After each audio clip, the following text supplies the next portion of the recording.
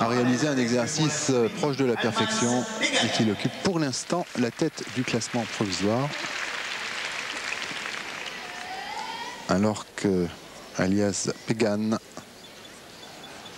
effectué son exercice. Alors là, on va voir aussi un exercice tout à fait original qui porte son nom d'ailleurs.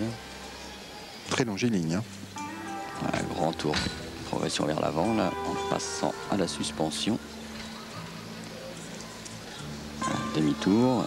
Et ici, normalement, le Pégane. Voilà, c'est son exercice, mais son exercice est loupé. Alors on voit beaucoup d'erreurs à cet agrès, des combinaisons certes riches et intéressantes, mais elles ne sont pas encore au point.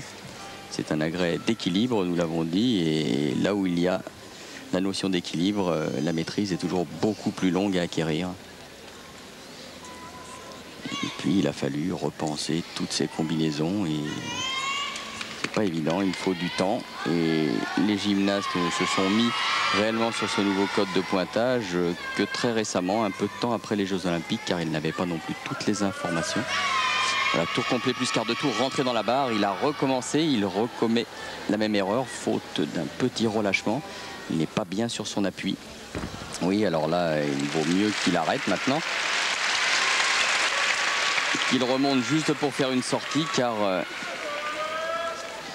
il n'était pas sur son appui, alors qu'en qualification, il avait fait euh, très correctement cet exercice. Ah, c'est dommage.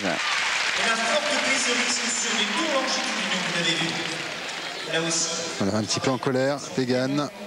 On sent que il y a un peu de colère rentrée. Et je me demande même si c'est pas un peu blessé euh, au pouce droit. Le Slovène. Alors en tout cas, cela va laisser euh, un peu de champ pour les autres et la place pour le podium reste très ouverte puisque je dirais que seul euh, Sean Townsend qui était passé au début du, concours a véritablement bien maîtrisé son nouvel enchaînement partant sur la note de 10, il avait obtenu 9,50 et il est loin devant tout le monde pour l'instant. Voilà, on revoit ce relâchement et cette faute d'appui. On le reverra.